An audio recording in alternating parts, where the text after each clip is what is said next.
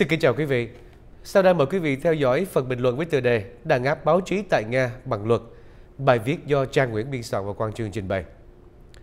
Thưa quý vị, vào ngày 5 tháng 12 vừa qua, thì Nga đã chỉ định đặt hai đài truyền thanh do chính phủ của Hoa Kỳ tài trợ. Đó là Đài Tiếng Nói Hoa Kỳ và Radio Free Europe, Radio Liberty vào diện các đại lý nước ngoài theo một luật mới được ký bởi Tổng thống Nga ông Putin vào cuối tháng 11 vừa qua. Các hành động này được cho là để đáp trả Mỹ bởi vì đã buộc hãng tin do Nga hậu thuẫn đó là RT, trước đây được gọi là Russia Today, vào danh sách đại lý nước ngoài vào ngày 13 tháng 11. Trên thực tế, thì đài RT đã bị điều tra và các cơ quan tình báo Mỹ mô tả RT là bộ máy tuyên truyền của nhà nước Nga và cho rằng đó là một phần trong nỗ lực của Moscow nhằm can thiệp vào cuộc bầu cử Tổng thống Hoa Kỳ 2016. Và đó chỉ là một ví dụ về việc tại Nga, tự do báo ngày một bị đàn áp nặng nề và nghiêm trọng hơn các hình thức đàn áp giờ đã được hợp pháp hóa và thông qua các bộ luật mới của chính phủ. Nói một cách khác, luật pháp đã được sử dụng như là một cái bẫy để chống lại giới báo chí của Nga. Kể từ năm 2008 cho đến năm 2015, cơ quan lập pháp của Nga đã thông qua 286 đề xuất về quy định và kiểm soát mọi nguồn Internet dùng tiếng Nga, được gọi là RUNET, với 156 trong số được đưa ra chỉ trong năm 2013 và năm 2014. Theo luật mới thì các quan chức của cơ quan giám sát liên bang trong lĩnh vực viễn thông, công nghệ thông tin và truyền thông đại chúng hoặc là Roskomnadzor có quyền đóng cửa bất kỳ một trang web nào mà không cần có quyết định của tòa án. Điều này có thể hiện sự thay đổi đáng kể từ luật truyền thông của năm 1991. Trong đó đã chỉ ra rằng chỉ các tòa án mới có thể đóng cửa một cửa hàng phương tiện truyền thông. Một đặc điểm khác của một số luật mới là sự mơ hồ của các thuật ngữ cơ bản như là cách sử dụng của các cụm từ chủ nghĩa cực đoan, chủ nghĩa khủng bố và hoạt động chính trị đã tạo ra nhiều vĩ độ cho việc lạm dụng và thao túng để chống lại các nhà phê bình chính quyền. Một điều luật quan trọng cần lưu ý là luật vào năm 2014 nhằm giới hạn quyền sở hữu nước ngoài ở mức độ 20% đối với lại một tài sản truyền thông. Điều này đã dẫn đến việc phải bán nhiều phương tiện truyền thông của nước ngoài được thành lập vào những năm 1990 và vào năm 2000 bao gồm cả các tập đoàn truyền thông đó là Excel, Springer của Đức và Sonoma của Phần Lan. Luật cũng đã giới hạn các phương tiện truyền thông của nước ngoài còn lại do lo sợ tầm ảnh hưởng của họ đối với lại việc kiểm soát dân chủ của chính quyền ông Putin. Ví dụ gần đây nhất, về việc sử dụng pháp luật để có thể hạn chế tự do báo chí là việc mở rộng các phương tiện truyền thông của luật đại lý 2012 đòi hỏi các tổ chức có trụ sở ở nước ngoài hoặc là nhận tài trợ từ bên ngoài nước Nga phải bị liệt kê vào danh sách các đại lý nước ngoài. Khi luật bắt đầu có hiệu lực vào năm 2012 thì nó đã dẫn đến việc đóng cửa nhiều tổ chức phi chính phủ về khoa học và văn hóa, vốn cũng buộc phải từ chối các kinh phí nước ngoài.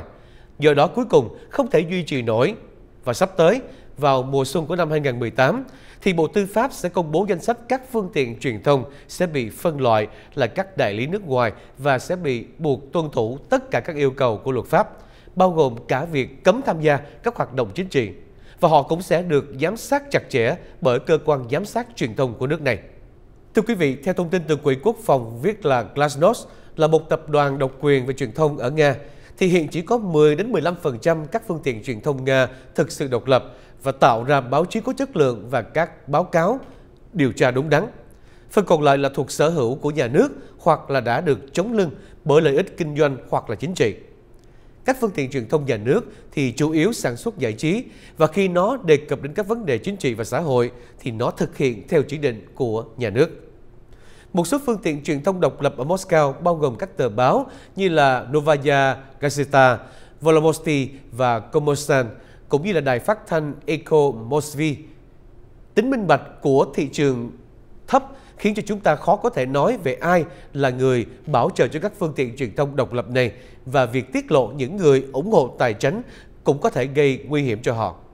Thêm nữa, rất khó để mà các phương tiện truyền thông độc lập cạnh tranh đối với lại các phương tiện truyền thông giàu có do nhà nước bảo trợ.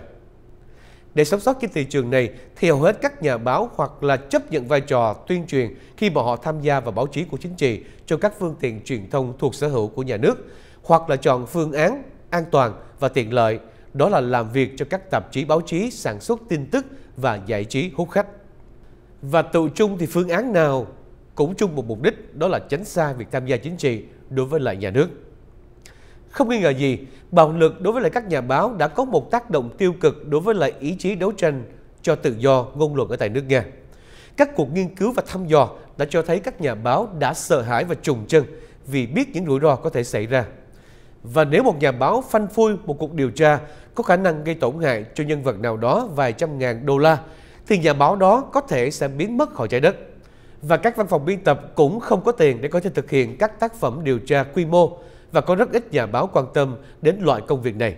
Và phần lớn là do kết quả kinh doanh và lợi ích chính trị chi phối ở Nga và thỏa thuận giữa tòa án và chính phủ hoặc là các nhân vật to lớn. Thậm chí, các trường đại học của Nga giờ cũng không dạy loại báo chí điều tra chính trị này nữa. Và tất nhiên, vẫn có những ví dụ của các nhà báo Nga đang thực hiện công việc điều tra thực tế và đưa ra sự thật để đấu tranh, và đặc biệt là ở các tỉnh nhỏ của nước Nga. Một ví dụ điển hình đó là Mikhail Faziev, một nhà báo thuộc khu vực Kalasia ở Serbia, người vào năm 2004 đã vinh dự được giải thưởng Sakharov của nghị viên châu Âu bởi vì những hoạt động tự do tư tưởng và bảo vệ nhân quyền của ông. Sau khi nhận được giải thưởng trị giá 5.000 Mỹ Kim, thì Afaniev đã tạo ra một tạp chí trực tuyến New Focus làm nổi bật những vấn đề cấp bách nhất và chuyên đề ở Kagasia. Thưa quý vị, nước Nga nói riêng và trên toàn thế giới nói chung, của các chính phủ độc tài cần nhiều những nhà báo như là Mikhail Afanasyev hơn nữa. Và đó là một quy luật bất thành văn. Ở đâu cũng thế, khi có đàn áp thì ắt sẽ có đấu tranh. Thưa quý vị, vừa rồi là phần bình luận với tựa đề Đàn áp báo chí tại Nga bằng luật. Bài viết do trang Nguyễn biên soạn, Quang Trương trình bày. Cảm ơn quý vị rất nhiều đã theo dõi. Xin chào tạm biệt và hẹn gặp lại quý vị vào phần bình luận lần tới. Xin kính chào.